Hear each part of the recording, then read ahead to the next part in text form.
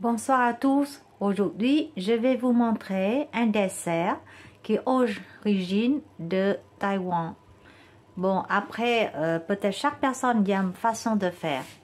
D'accord? Maintenant, je mettre de façon plus simple. Pour faire ça, il faut acheter des sachets, des billes de tapioca, couleur noire, vert, blanc. Il y a plusieurs parfums. Et on va faire cuire ça dans l'eau. Je préparais ici un bol de sucre avec de l'eau et du caramel. C'est pour tremper avec les billes dedans. Ça, c'est les billes. Je vais faire cuire dans l'eau. J'ai besoin de thé noir. Vous avez plusieurs parfums. Donc, ici, je prends thé noir, saveur caramel. J'ai utilisé le sucre blanc, casonade et du lait concentré, non sucré ou sucré. Maintenant, je vais préparer du thé. Je vais faire cuire du thé. Avec du thé, je vais mettre du lait et du sucre dedans.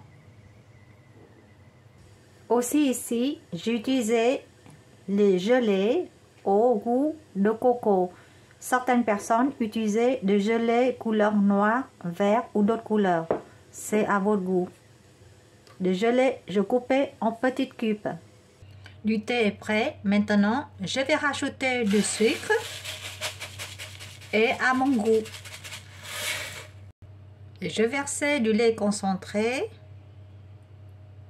C'est aussi à mon goût. Vous voudrez plus ou moins du lait. C'est-à-dire, on va former du thé avec du lait avec du sucre pour faire un jus, un liquide à notre goût sucré plus ou moins.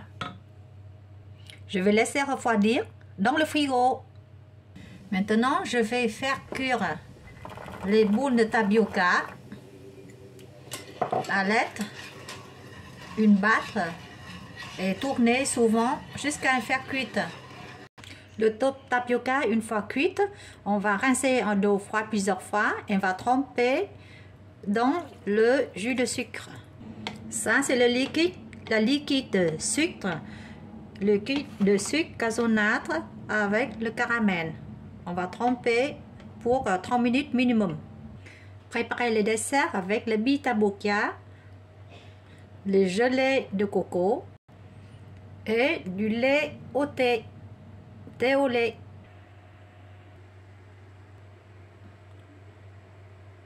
Voilà, je vous souhaite réussi dans ce plat.